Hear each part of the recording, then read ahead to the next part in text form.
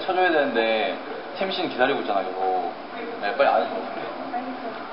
어, 처음에 했을 때 너무 잘해서 놀랬어요. 노래도 잘 맞추고 순서도 저보다 빨리 외우고. 이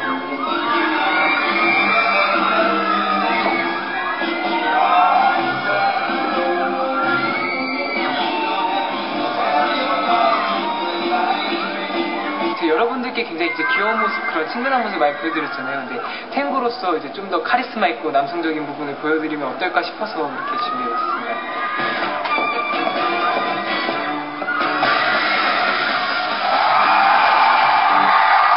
자, 본명 code name 샤이니즘이죠? 네, 앞에서 보여주셨던 가인 씨의 탱고와 네. 어떤 다른 탱고를